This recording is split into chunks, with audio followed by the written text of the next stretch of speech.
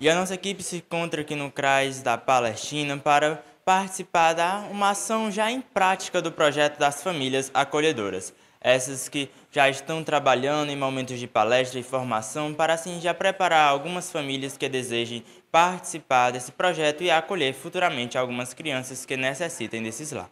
A gente conversa um pouco com algumas representantes que explicam melhor de como esse projeto está sendo colocado em prática e implementado dentro da assistência social aqui do município de Canidé. Esse serviço ele já foi apresentado para todos os CRAs e agora nós fomos convidados aqui pelo CRAS Palestina para apresentar o serviço para a família.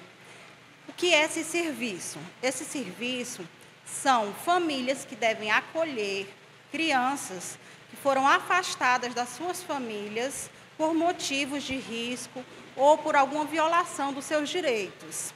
Certo? Essa família vai ficar com essa criança ou adolescente provisoriamente enquanto perdurar o processo.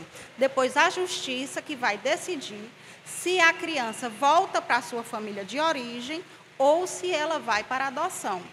Essa, esse serviço ele já funciona no Brasil e ele foi é implantado no ECA desde 2009, certo? Como prioridade no seu artigo 34, parágrafo 1 como prioridade ao é o acolhimento institucional. Então é preferível que seja que a criança fique na família acolhedora do que fique nos acolhimentos institucionais, né? Para não ficarem isoladas e sim para participarem da sociedade. E este serviço aqui nós temos uma lei certo? Que foi implantada em 2021 aqui no nosso município e foi formada essa equipe e agora nós estamos trabalhando com as famílias nos CRAs para capacitar e selecionar essas famílias para que elas estejam aptas a receber essas crianças. É um serviço novo que está sendo implantado pela nossa Secretaria de Assistência Social, mas que já vem funcionando né, em outros, outras cidades do nosso estado.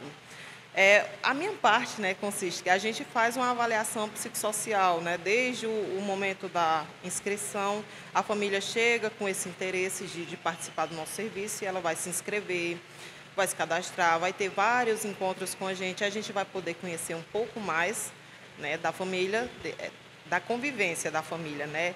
Todos os membros, porque a gente sabe que para entrar no serviço de família acolhedora, todos os membros da família têm que estar de acordo em receber essa criança, né? Para ser essa, essa criança ou esse adolescente que será o acolhido.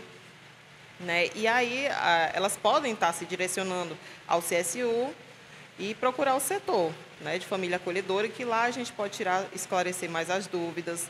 Mas o ponto principal do nosso serviço é poder é, proporcionar vínculos afetivos seguros a essas crianças, né, que na maioria das vezes vêm de uma realidade mais difícil e que naquele momento da vida elas estão precisando de atenção, de cuidado, de alguém que realmente olhe para essa questão delas, né, de, de poder fazer com que elas se desenvolvam de uma forma mais correta, digamos assim. E a você que também deseja ou se interessou a participar da família acolhedora, procure um CRAS próximo à sua residência, o CRAS do seu bairro, ou também a Secretaria de Assistência Social aqui do município, popularmente conhecido como CSU, para se informar ainda mais de como funciona esse projeto. É muito importante você que deseja participar ter um momento de formação, de tirar as dúvidas para que você possa estar ciente de como irá funcionar durante o período em que essa criança irá participar e estar presente na sua família. É muito importante que toda a população possa conhecer e participar desta ação que irá influenciar e ajudar na vida de muitas crianças, adolescentes e jovens na sua criação e formação.